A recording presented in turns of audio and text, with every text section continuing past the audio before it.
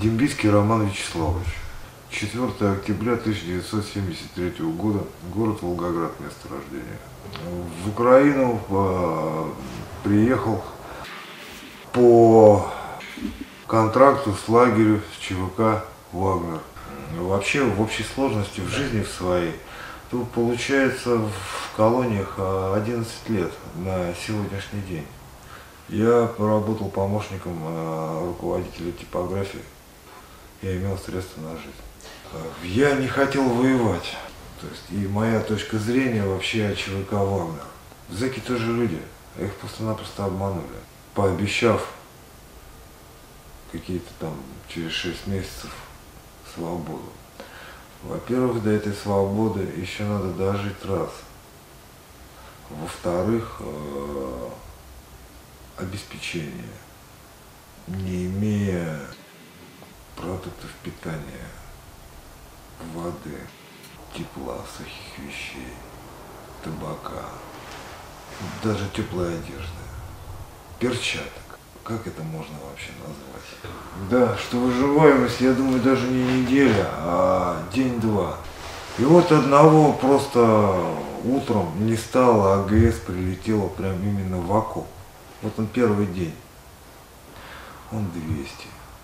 Я наслышан был, что э, в Украине наемник всего мира. Ну, это так преподносилось, да.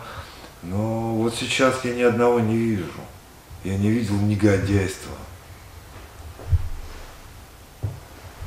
Ну вот как есть.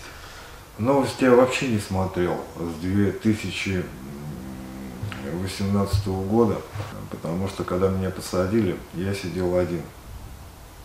Вообще один в камере. Но мне позволено было иметь телевизор, холодильник, там, вентилятор. Вот. И в камере, находясь, ты смотришь один и тот же телевизор. И смотришь, что там что-то ничего не меняется. Каждый день одно и то же. Это целенаправленно идет раскручивание. То есть я, я призадумался, не устраивает меня политика российского государства. Считаю, что мы вернулись во времена НКВД 1937 года, и шансов свобод развития никаких нет. Для расширения своего кругозора надо, значит, отойти истории, подойти с абсолютно другой стороны. Меня заинтересовала нестыковка, нестыковка кое-каких вроде не таких несущественных фактов. И я понял, что в Советском Союзе после революции произошла подмена ценностей. Значит, они ликвидировали весь класс, который имел образование, имел свою точку зрения. И людям просто подложили, грубо говоря, свою историю, к которым они будут учиться, развиваться и жить в дальнейшем. Они просто воспитывали свое поколение новое.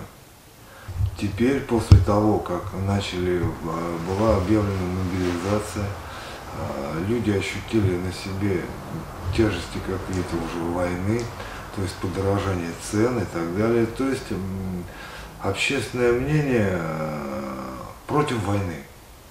Соответственно, выборы в 2024 году не приведут к победе Путина на такую, какую он рассчитывал. Амбиции президента России, который, имея уже абсолютную власть, абсолютно это абсолютная безнаказанность, уже цинично и очень подло в заблуждение людей при помощи Скобеева, который находится на зарплате, которая вещает по второму, по-моему, каналу целый день, который находится Соловьев, который Путина олицетворяет там. Ведь никто не задумывается на том, что те люди получают зарплату по 50 тысяч долларов ежемесячно.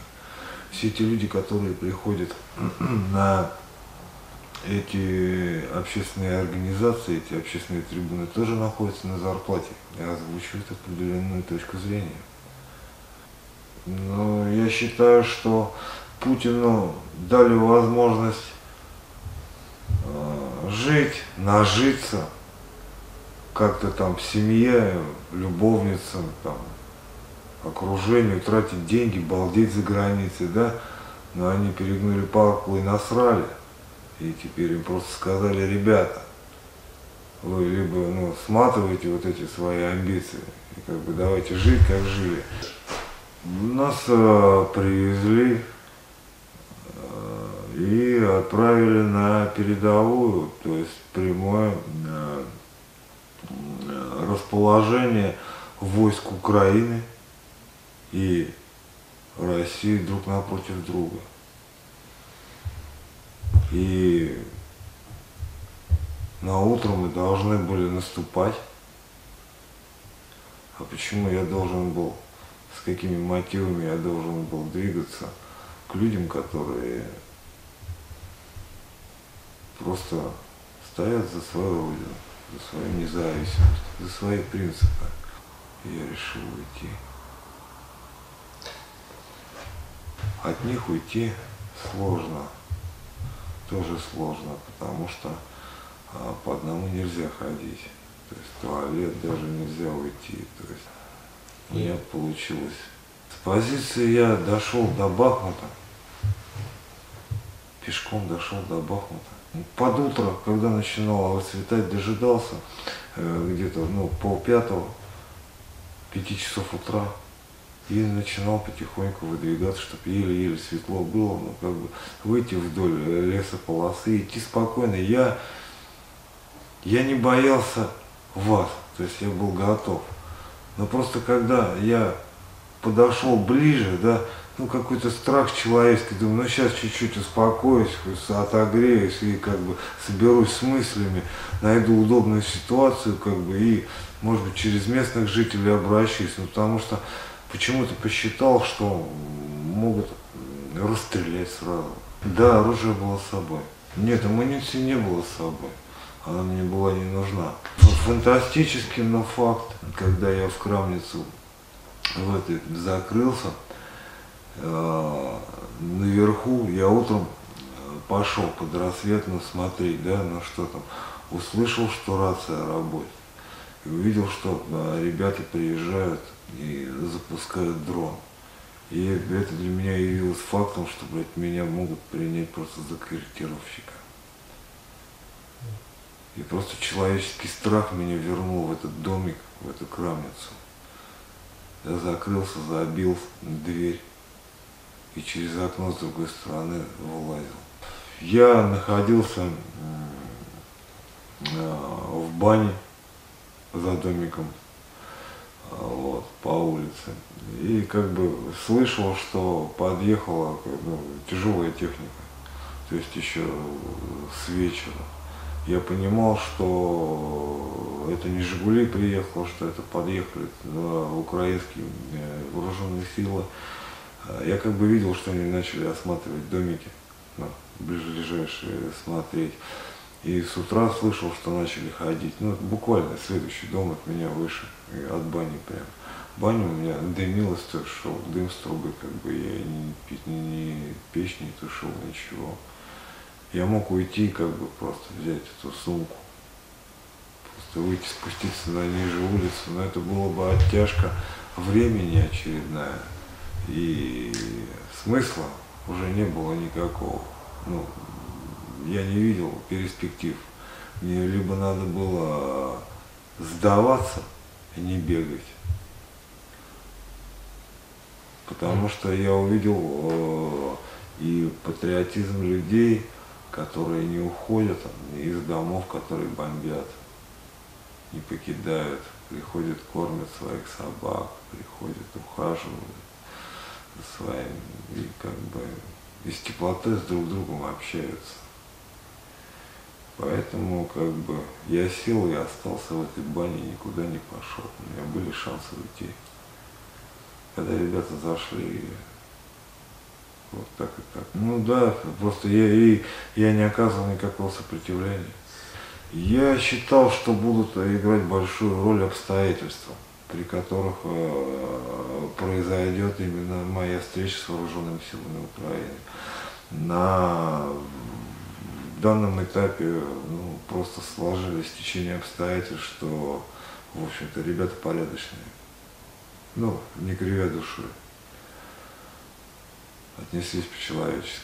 Я считаю, что люди должны созреть, должно пройти время, люди должны увидеть, что все обещания власти, что сейчас все стабилизируется и все у нас хорошо, и цены не растут, они увидят это на самом деле абсурд, что расходятся слова на деле, что цены-то на самом деле растут. И за то э, время э, до выборов осталось, ну, грубо говоря, два года.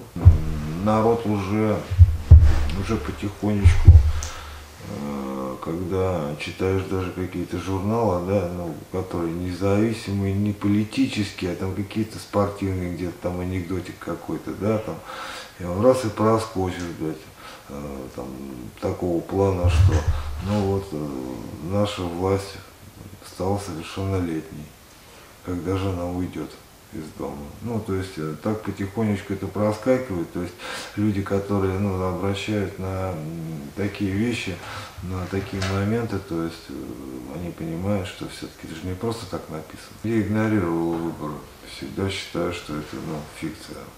Я еще по телевизору заметил, что э, российская армия никуда не продвигается по телевизору они говорят одно, показывают картинки, а картинки одни и те же, изо дня в день происходят. Я на это обратил внимание, это явилось таким фактом, я еще смеялся, я говорю, наконец-то, наконец-то им дали а, вот, немножечко, чтобы почувствовали,